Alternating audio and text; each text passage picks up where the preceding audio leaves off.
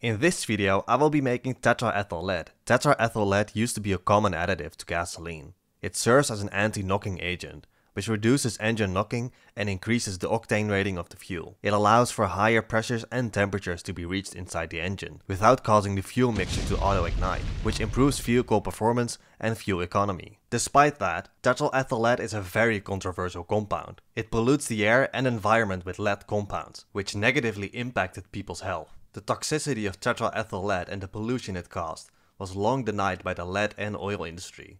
The extent of lead pollution was first discovered independently in the late 1940s, but it took until the 1970s for countries to start banning tetraethyl lead as a fuel additive. Tetraethyl lead has a difficult history, but is its synthesis as difficult? Let's find out. So for this synthesis, I will need some lead. So I will be using lead wool. After some testing, I settled on this ghetto setup for the first part of the synthesis. It is a stainless steel crucible wrapped in mineral wool. I put a bit of lead wool in the crucible and melted it with a torch. The melting point of lead is only 328 C, so it doesn't really require any specialized equipment. Anyhow, what I want to do here is make a sodium lead alloy in a molar ratio of approximately 4 to 1. So to get there, I first melt about 200 grams of lead wool in the crucible.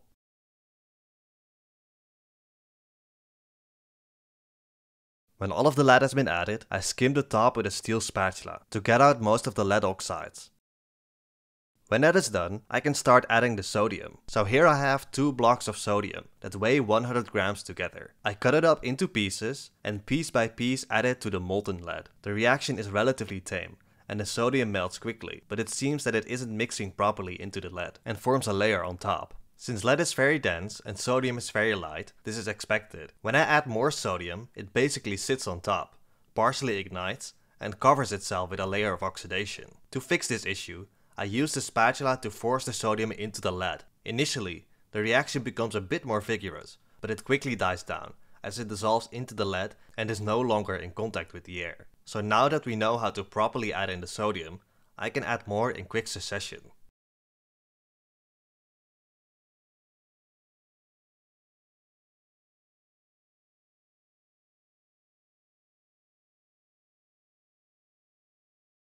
After adding a big part of the sodium, some impurity is present as a black mass. So I scoop it up with a spatula and simply remove it from the crucible.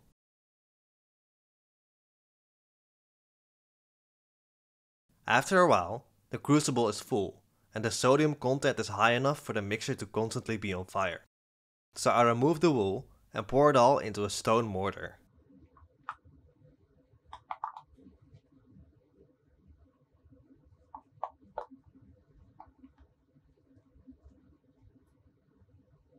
There is still some sodium left that I want to dissolve, so I force it into the hot alloy again by mixing it. When that is done, I cover the molten alloy with some mineral wool, so that it stops burning in the air. I leave it to cool down and meanwhile prepare for the next step of the synthesis. So I set up a large 3-neck flask and add in a big stir bar. I then add 150 ml of bromoethane and move the flask to a heating mantle. Now I come back to the cooled down alloy and it's a black mass with some crumbles of yellow and orange oxidation. I lift it with a spatula and the alloy breaks right away. The yellow-orange impurity also comes off easily. So I just pick up the pieces by hand and rub off all of the junk. When that is done, I discard all of the remaining junk and continue with the larger pieces. So now I am left with some brittle, black metallic pieces of the sodium lead alloy. The total weight of all the pieces turned out to be 120 grams. I cannot determine the exact molar ratio of the lead and sodium, but it can still be used even with lower sodium ratios. It snaps in half easily, but it's still relatively hard. It also reacts strongly with water, and seems to oxidize in the air from metallic to black-gray. For the next reaction, I will crush the alloy into smaller pieces by hitting it with a pestle. When the pieces are small enough, I move all of it to the flask with the bromoethane while stirring.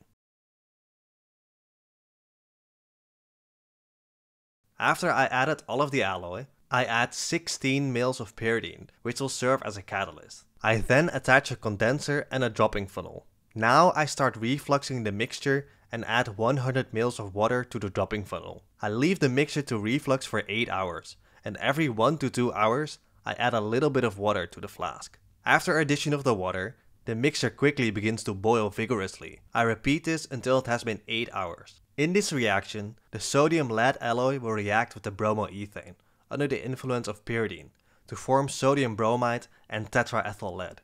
The reaction is relatively straightforward and is dependent on the sodium content of the alloy and the ability for the reagents to react properly. Adding water during the reaction will help expose fresh alloy that is not covered in oxidation and sodium bromide.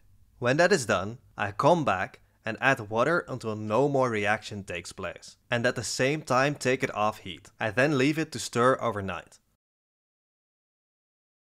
I come back the next day, remove the condenser and attach a short path distillation apparatus. I start heating to boil off all of the remaining bromoethane. After that, I swap the receiving flask and start steam distilling over the tetraethyl lead. I simply boil over water continuously, which will carry over the tetraethyl lead. I occasionally add about 50 ml of water. When it looks like no more tetraethyl lead is coming over, and it's pretty much only water, I stop the distillation. Now I am left with a two layer system, with water on top and tetraethyl lead on the bottom, along with some impurities that have managed to come over. Now I move all of the contents to a separatory funnel and separate the layers. I then pour the tetraethyl lead back in and wash it once with some dilute sodium hydroxide.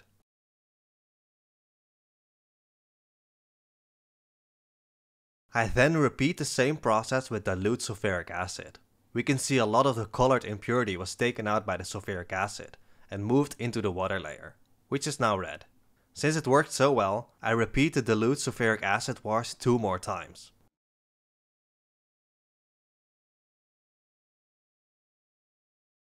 When that is done, the tetraethyl lead is now only slightly yellow. To finish it up, I wash it once with some water.